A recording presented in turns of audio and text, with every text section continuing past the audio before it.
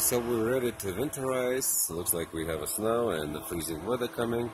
So we're gonna start winterizing, but before that, I'm just gonna show the options that it's possible to do. Uh, some people not even realizing that it's very simple things, but it's very useful. Uh, so yeah, let's take a look at it. So what we got right here? Yeah, of course we have a drainage. Um, we have a couple lights right there and we have a jets. We put a couple jets right here and it's a Venturi jets right here. It's a knob for one jet and there is another knob for another jet. So let's see how it works. And uh, it's very simple. Uh, let's say we open this one and let's see what happens in, inside the pool.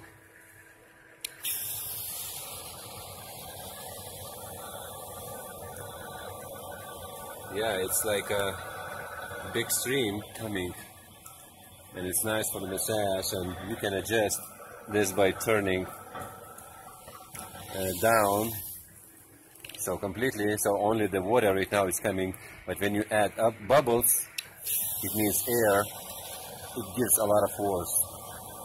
So we can do on this side and we can do on that side as well. Let's see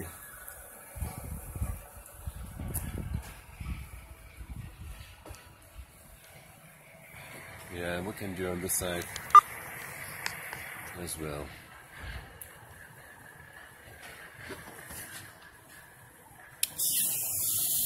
Yeah, it's, it's quite a bit of bubbles and it's a lot of force. And we have another on that side and on this side. It's very simple to use. This one just opens and closes down but it gives a lot of force and it's nice for the massage by sitting on the steps. And this is the shallow area right here in this area. So the way we did right here let's see. So the way we did those two jets that it's shooting on the from the side of the pool uh, closer to the shallow area. So that's the shallow area and this is goes deeper right here.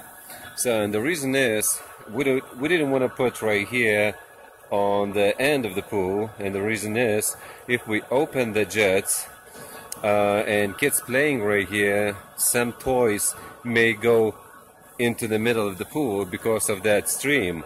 So in order to keep the um, the toys inside the shallow area we decided to do the jets right here just on the sides. So it keeps um, the toys everything in one place Otherwise, if we could have uh, jets on the end and the jet starts pushing water and small kids playing in this shallow area, the toys starts going into the deeper end of the pool and kids may try to reach those toys and go into the, deeper end, which we don't want to. We want to keep the kids in that area. So that's why we put those jets on the side. Um, anyway, so that's, let's see, yeah shoots quite a bit.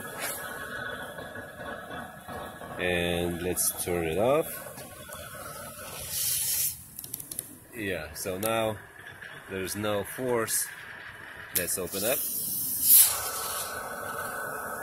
Yeah so it's possible to add quite a few jets around and make it very um, kind of spa area actually and that's how uh, some other pools are done um, by adding uh, those jets around the spa area and having the nice workable spa that you can relax